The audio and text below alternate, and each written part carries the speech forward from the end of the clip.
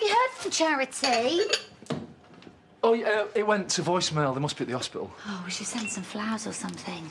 It was Gabby or Arthur ill. you- Don't, don't think it. We're very lucky. Flowers are a great idea. Oh, Lizzie, wait, wait, you nearly... Oh, what? Sorry, no, it's fine. You nearly stepped on uh, Arthur's fidget.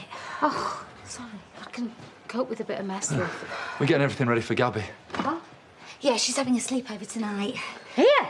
It's promising.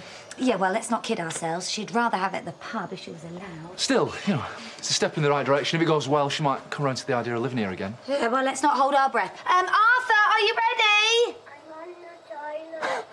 I'll drop him off. You two get to work. Hey, listen, do you want me to make myself scarce tonight? Oh, no way. I need all the moral support I can get.